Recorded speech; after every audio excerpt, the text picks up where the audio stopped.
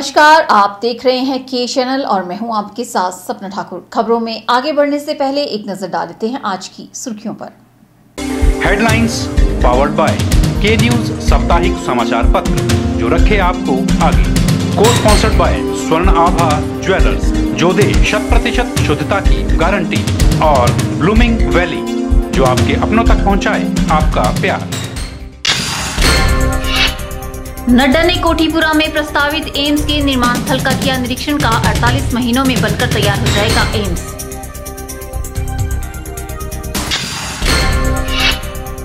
BJP ने कांग्रेस की rally को बताया असफल, जवाहर ठाकुर के अनुसार सिर्फ़ सीएम को मिला रैली का फ़ायदा पॉलिसी की ऑडियो सीडी पर जाँच की उठाई मांग।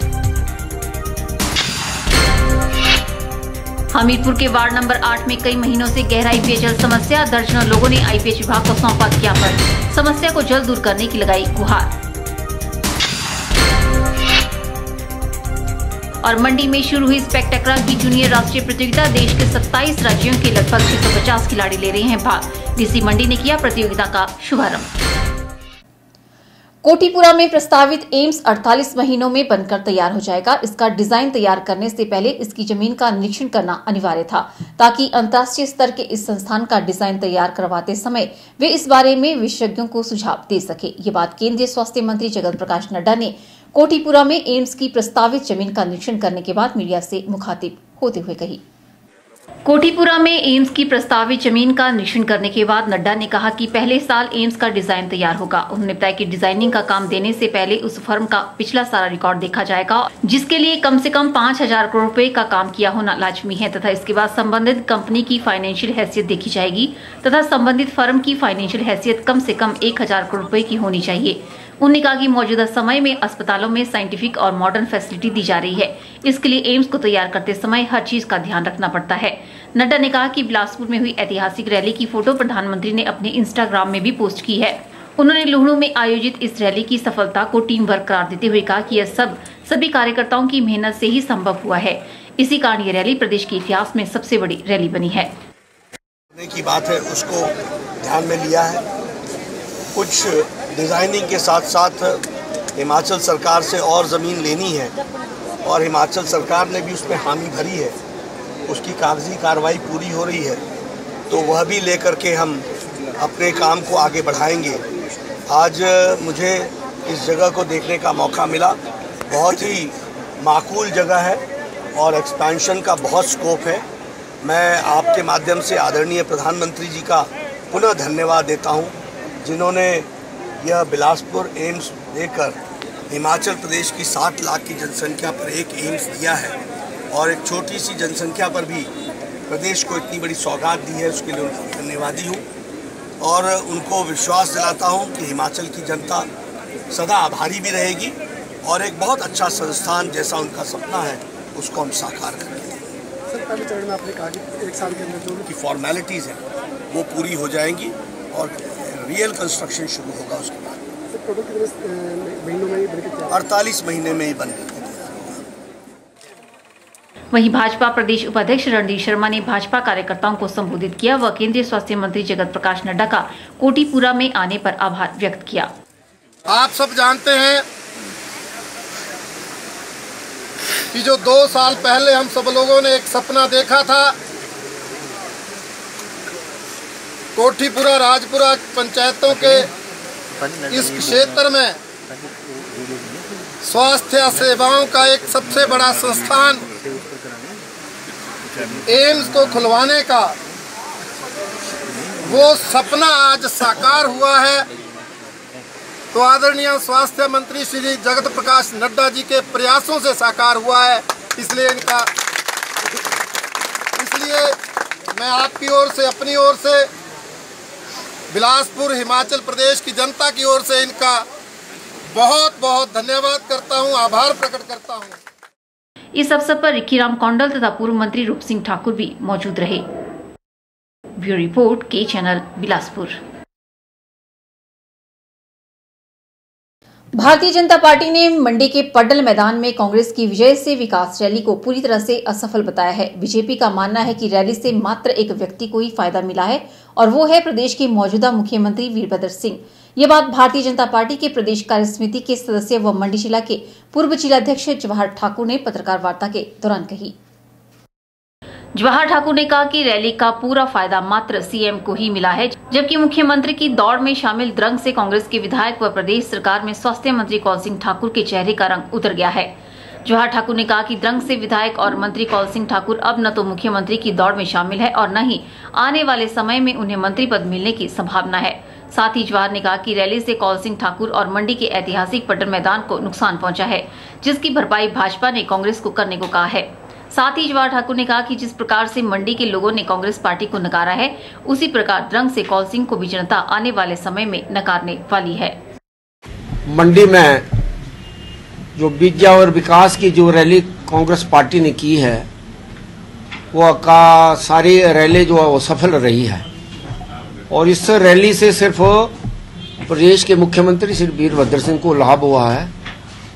और इस रैली के होने से मंडी को तो कुछ नहीं मिल पाया है, लेकिन मंडी के हमारे वरिष्ठ नेता और जो भावी मुख्यमंत्री अपने आप को कहते हैं आदित्य ठाकुर कौल सिंह जी, इस रैली से खासकर उनको नुकसान हुआ और हमारा जो पडल मैदान अब भी जिसमें करोड़ों रुपया सरकार ने खर्च किया है पडल मैदान को इसका नुकसान हुआ है।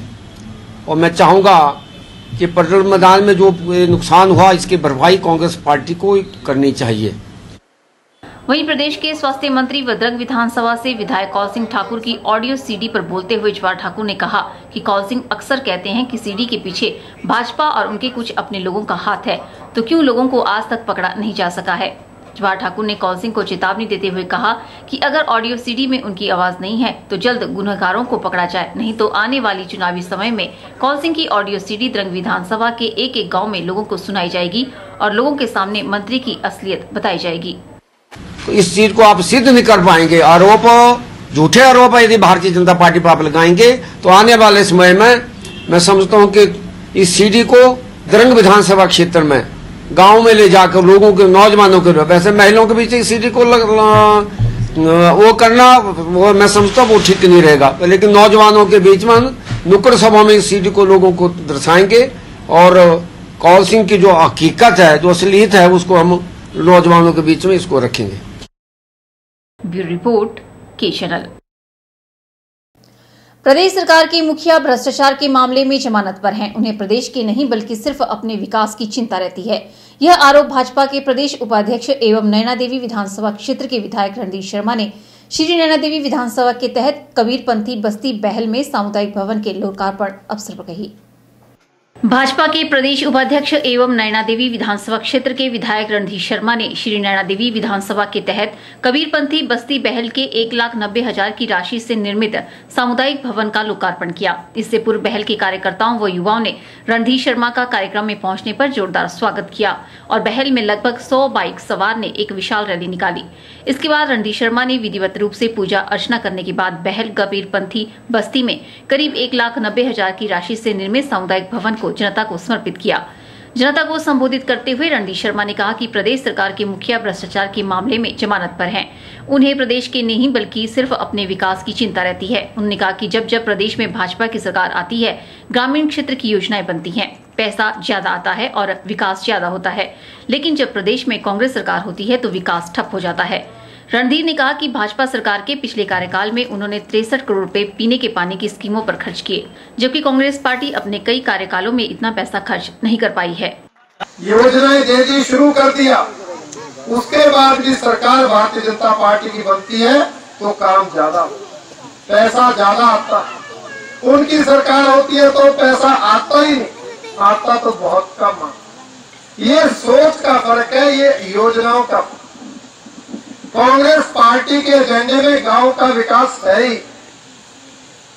इसलिए वो ये योजना नहीं बना पा मुझे आपने पाँच साल का मौका दिया जब हमारी सरकार थी। तिरसठ करोड़ रुपए पीने के पानी की स्कीमों पर खर्चा। कांग्रेस की सरकारों का सारे का सारा जोड़ ले वो सारा जोड़ कर भी तिरसठ करोड़ नहीं बन bureau report K channel Bilaspur. यहाँ रुकते हैं, छोटे से ब्रेक के लिए जल्द हाजिर होंगे। आप देखते रहिए K channel. First nursing college of Mandi town Sampatti Devi memorial college of nursing recognised by HP government and HP nurses registration council approve by Indian nursing council New Delhi admission start for B S C nursing duration four year eligibility criteria plus two medical with forty five percent Few seats are vacant in state quota. Special scholarship for SC, ST and OBC candidates. So please contact Sampati Devi Memorial College of Nursing, PPO Bichni, District Mandi, Himachal Pradesh.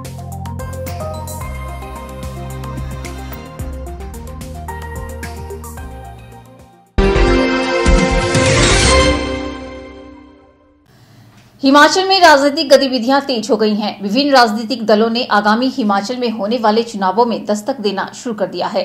इसी कड़ी में पंजाब में अपनी सत्ता खो जाने के बाद अकाली दल बादल ने भी हिमाचल की ओर रुख करना शुरू कर दिया है।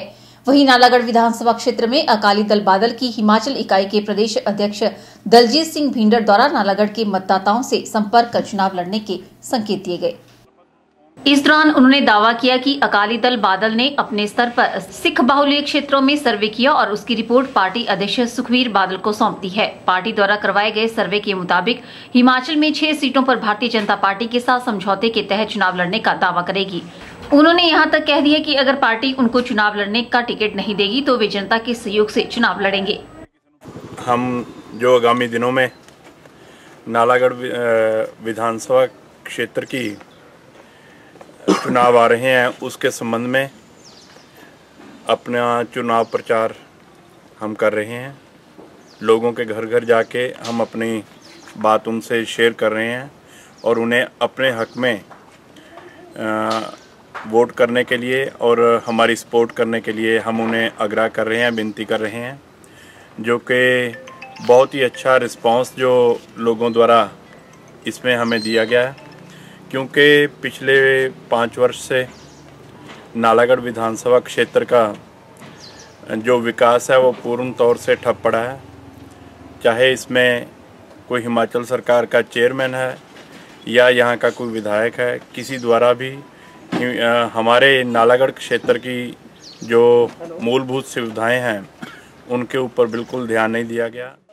उन्होंने बताया कि जिन छह सीटों पर दावा किया जाएगा, उसमें जिला सोलन के नालागढ़, जिला सिरमौर, पोंटा साहिब, जिला ऊना तथा कांगड़ा की कुछ सीटें शामिल है। इस अवसर पर उन्होंने नालागढ़ विधानसभा क्षेत्र की मौजूदा सरकार पर अनदेखी का आरोप भी लगाया और कहा कि नालागढ़ विधानसभा क्षेत्र हर क्षेत्र में पिछड़ा है। नालागढ़ का विकास करवाने में स्थानीय विधायक नाकाम साबित हुआ है। हम यहाँ पर छह सीटें चाहेंगे क्योंकि हमारा जो सर्वे हुआ है, जिसमें सिख बहुल क्षेत्र हैं वहाँ पर हम चाहेंगे कि छः सीटों पर हम यहाँ अपने प्रत्याशी उतारें और हमारे पार्टी अध्यक्ष सरदार सुखबीर सिंह जी बादल जो भी दिशा निर्देश देंगे उसके तहत जितनी सीटें वो लेकर देंगे उन पे हमारे कैंडिडेट उतरेंगे। कौन कौन सी सीटें होगी ये? जैसे डिस्ट्रिक्ट ऊना है डिस्ट्रिक्ट सोलन है डिस्ट्रिक्ट सिरमौर है ऐसे डिस्ट्रिक्ट कांगड़ा है इन सब जिलों में अलग अलग कंस्टिट्यूंसीज में हमारे 10-11 सीटों पे सर्वे जो हमने करके दिया है। और उन पे जो पार्टी के अध्यक्ष सरदार सुखवीर सिंह जी बादल जो फैसला लेंगे, उसके अनुसार हम इन सीटों पे अपने कैंडिडेट उतारेंगे। के चैनल के लिए नालागढ़ से नंदलाल ठाकुर की रिपोर्ट।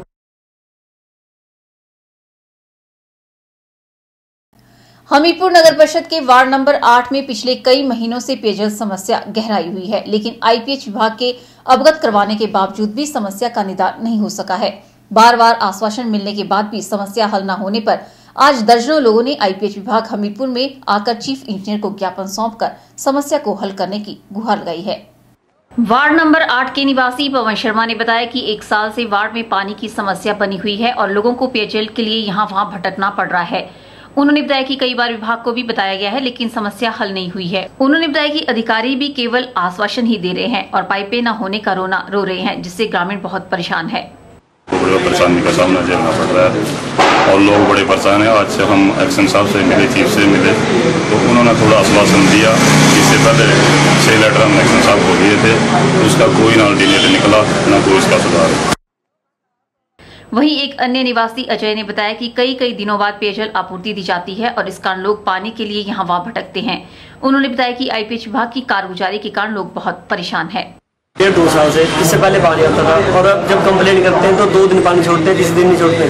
पानी की टाइम तो दो, तीन, चार बजे। ये दो, तीन, चार बजे कौन भरेगा पानी? तो सर्दी में टाइम आ रहा है। और अब जब चीफ इंजीनियर साहब से मिले, और उन्होंने कहा कि आपकी समस्या का जल्द जल्द हल होगा। Bureau report, K channel. फ़िलहाल वक्त हो चला है, एक और ब्रेक का। मिलते हैं ब्रेक के बाद।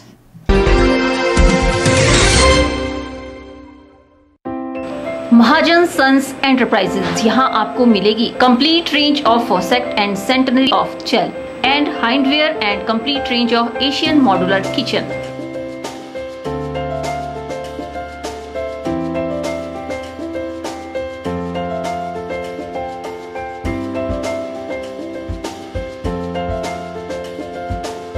इसके अलावा यहाँ PVC panelling fancy PVC and wooden doors fancy hardware Johnson curtain blinds and Marshalls wallpaper board ply mica and complete range of other house material की विस्तृत रेंज भी उपलब्ध है।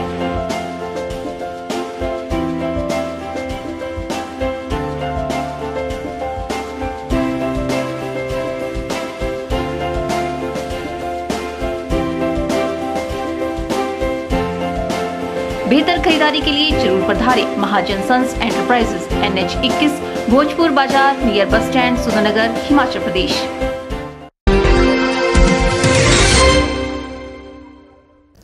मंडी युवा कांग्रेस के महासचिव वीर भारद्वाज ने प्रेस में जारी बयान में कहा कि सराज के विधायक लोगों को गुमराह कर रहे हैं कि सराज में विकास नहीं हुआ है। उन्होंने कहा कि मुख्यमंत्री वीरभद्र सिंह ने सराज में ऐतिहासिक विकास कार्य किए हैं और विकास के बल पर कांग्रेस विधानसभा चुनावों में जीत दर्ज करेगी।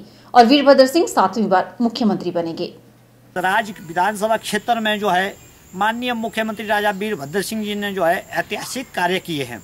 जिसमें जिंजाली में जो है, एसडीएम दफ्तर दिया, सिविल अस्पताल दिया, थाना दिया, छतरी बेल्ट में सब तहसील दी, बाली चौकी क्षेत्र में जो है, तहसील, सब तहसील को तहसील दिया 108 एंबुलेंस दी, सब्ज़ी मंडी बाली चौकी दी गाड़क श्रेणी में कॉलेज दिया, थाची में कॉलेज दिया ऐसे कई ऐतिहासिक कार्य किए जिसमें जो है छः सात जो है सराय क्षेत्र के लिए माननीय मुख्यमंत्री राजा वीरभद्र सिंह ने जो है पी भी दी और सड़कों का जाल बिछा दिया।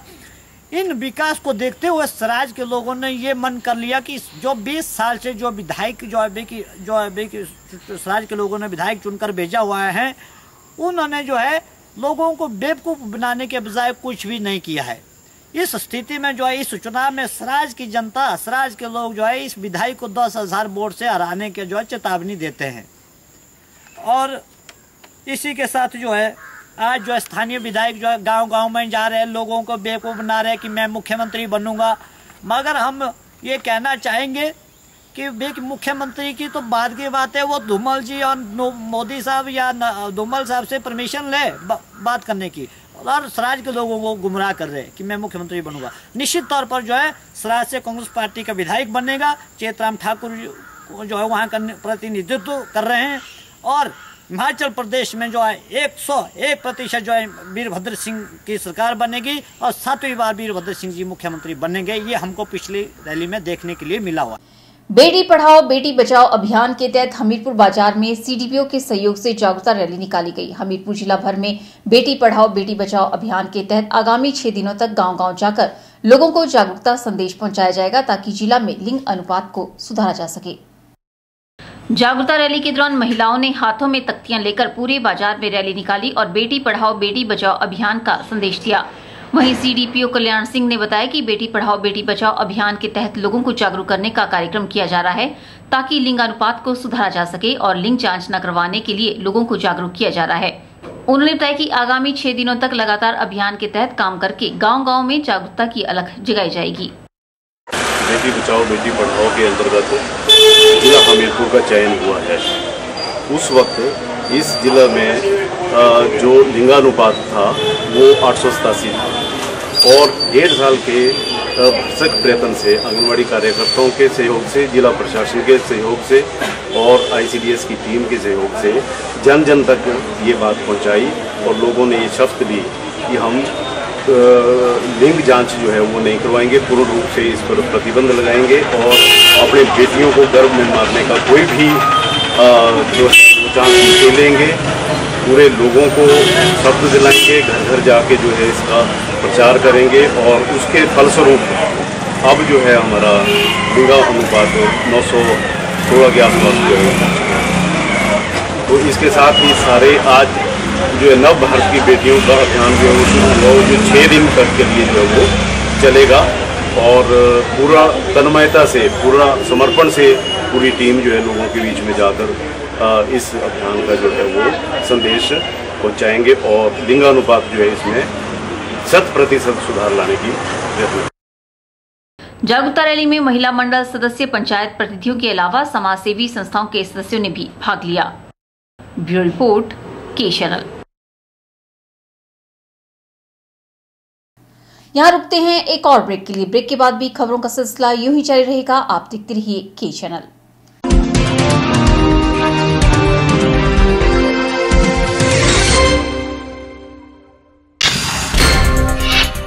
नड्डा ने कोठीपुरा में प्रस्तावित एम्स के निर्माण स्थल का किया निरीक्षण का 48 महीनों में बनकर तैयार हो जाएगा एम्स।